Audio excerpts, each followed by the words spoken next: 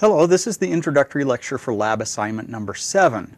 Related educational materials are in the lectures 17 through 20 and in the written material sections 2.4 through 2.4.5.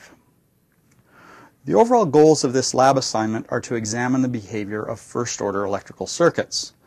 In the first part of the lab assignment, we will look at a passive first order circuit. It will in fact be an RC circuit consisting of a series combination of a single resistor and a capacitor.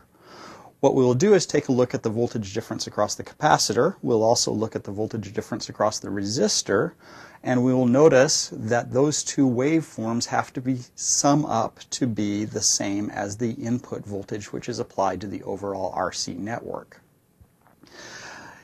Later in this first part, we will take a look at loading the circuit itself. Most electrical circuits exist in order to do some useful function. That useful function is generally done by applying a load to the circuit. Passive circuits, when you load them, tend to respond to the load. Applying the load changes the behavior of the circuit. We'll take a look at that in the last portion of part one of this assignment. That will take us into the second part of this assignment, which is to do an active first order circuit. The active first order circuit that we will implement is essentially the same input-output differential equation as the passive circuit of part one. So we'll take a look at the response of that circuit, compare it to our previous passive circuit, see that they are approximately the same. In the final part of part two, we will load the active circuit, we'll see that since the power is applied to the load by the external power supplies of the operational amplifier, the active circuit is not affected as much by the load as the passive circuit was. That's one of the primary reasons for having active circuits in the first place. An intermediate step in part two is to change the input frequency that's applied to the circuit and take a look at the response of the circuit as the rate of the input changes. In part one of Lab 7, we'll take a look at the RC circuit shown schematically on this slide. We'll be looking at the step response of this circuit. Now we're going to create our step response by putting in a square wave input to the circuit. We'll just make sure that the frequency of the square wave is low enough so that it looks like a step function to the circuit. Now we have two potential voltage differences across this circuit. V sub R of t, the voltage across the resistor, and V sub C of t, the voltage across the capacitor. Now we've taken a look analytically at what V sub C of t should be for this circuit. We're going to experimentally measure that voltage. We're also going to measure the voltage across the resistor V sub R of t. Now what I want you to notice from this part of this lab assignment is that V sub R of t plus V sub C of t has to be equal to the input voltage applied to the overall circuit. We can't lose any energy magically in this circuit. So we'll take a look at those two waveforms. Notice that V sub C of t plus V sub R of t sum up to be something like V in of t, and that will give us some more practice in working with oscilloscopes and how to make transient measurements. Now let's look at the implementation of the circuit and measure the voltage responses across the resistor and capacitor.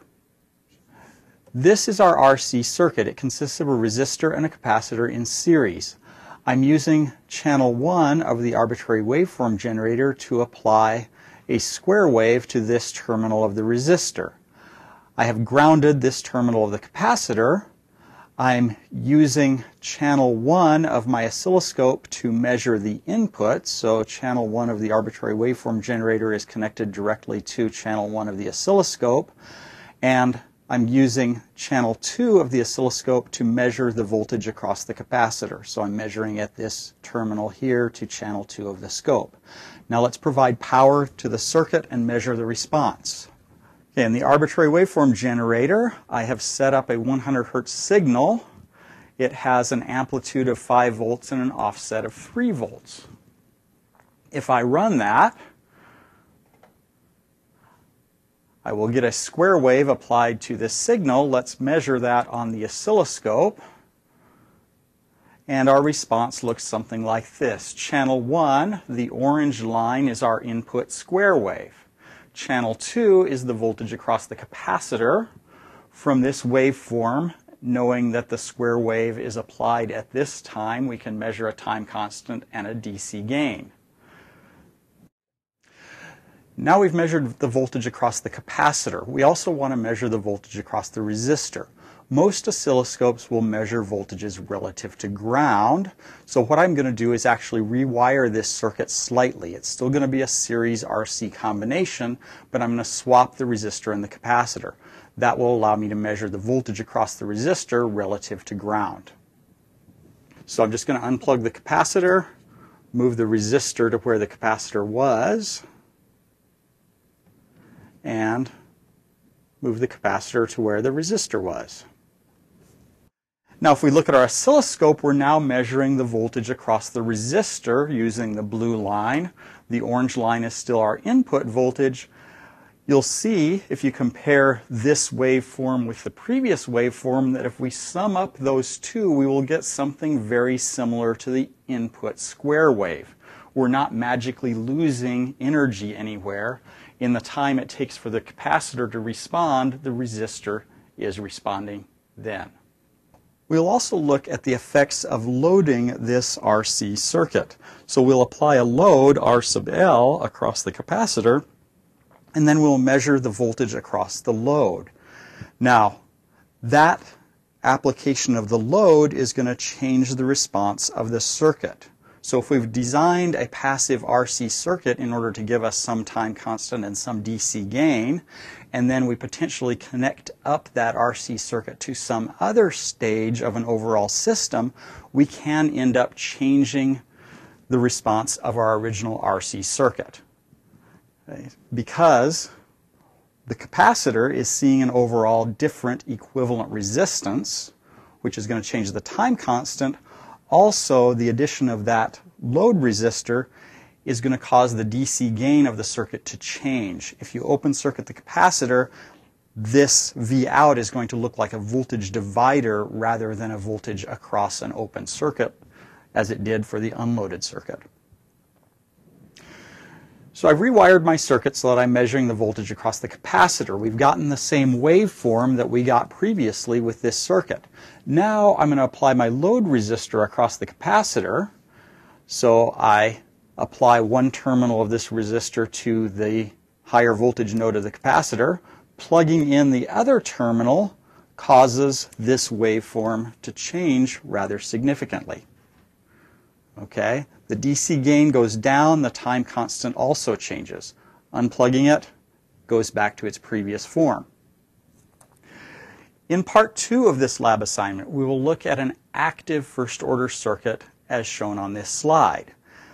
The input-output differential equation for this circuit is virtually identical to the input-output relationship for our previous passive circuit.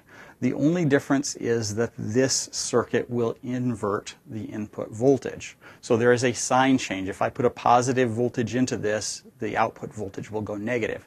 Other than that, the time constant is the same and the DC gain is the same. Now, this should have roughly the same step response as our previous circuit, with the exception of the sign change. The first portion of this part of the lab assignment is to verify that. Subsequent to our previous discussion of this circuit, we'll now look at an implementation of the circuit and look at the measured response voltages. This is our active first order electrical circuit. This is the operational amplifier that is our active element. We're still applying a square wave to the circuit with channel 1 of our arbitrary waveform generator. That's connected to the inverting input voltage node of the operational amplifier through this 470 ohm resistor. We've grounded the non-inverting input terminal. We have a 470 ohm resistor plus a 1 microfarad capacitor which are in the feedback loop from the output terminal to the inverting input terminal. Power is applied to the operational amplifier with VP plus and VP minus, which go respectively to the positive external power supply and the negative external power supply. We're measuring our output voltage on channel 2 of the oscilloscope. We're measuring our input voltage on channel 1 of the oscilloscope. We're using the arbitrary waveform generator to apply a 100 hertz square wave